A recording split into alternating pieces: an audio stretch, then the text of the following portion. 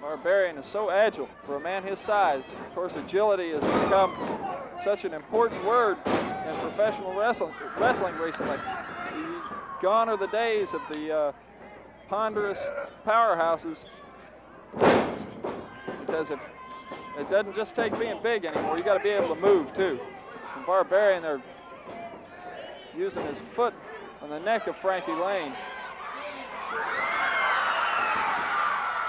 Jake the Snake intimidating Wendell Cooley.